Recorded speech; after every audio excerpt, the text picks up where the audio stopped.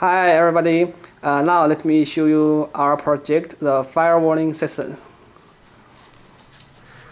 Uh, this is a camera controlled by a, a servo motor. And uh, this is a Arduino.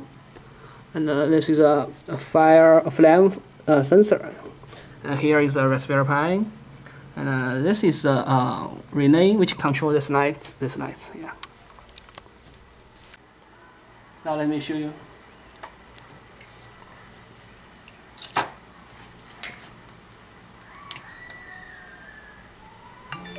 Whoa, what happened?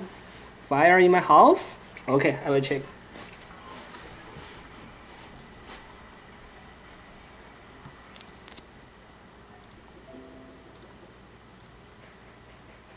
Okay, what happened? Oh, it's too dark. Let me turn on the lights. Okay, let me check. Uh, happen. I turn left. I turn left. Oh, it's my left. then turn right. Hmm. Yeah, I see the flame sensor and nothing happened. Everything is good. Oh, that's great.